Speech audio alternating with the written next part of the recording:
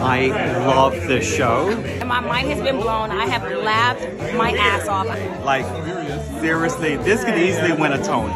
Oh my god, it was just so incredible, so funny, so moving. And fucking tastic. Michael Jackson has never made more sense. And bring a friend that is a real tight ass and watch them laugh. No, don't do that. Just bring a friend that wants to laugh. You're gonna laugh your ass off. This is what live theater is about.